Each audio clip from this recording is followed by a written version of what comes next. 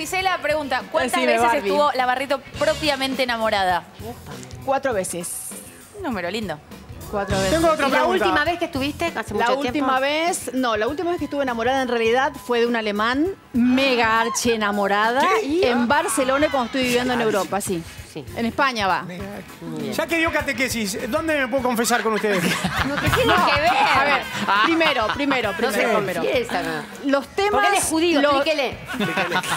Nuestra religión, esto es muy serio, nuestra religión es judío-católica. Entonces, y Dios es uno solo. Y cuando vamos a hablar de esto, es muy en serio. En cualquier iglesia que tenga un sacerdote que a usted le parezca que está de acuerdo, y ojo, los sacerdotes que te permiten todo no son buenos. Un buen sacerdote para confesar, un sacerdote que te pone los puntos. Siguiente Tengo la pregunta. sensación de que nos está cagando a pedo, ¿puede ser?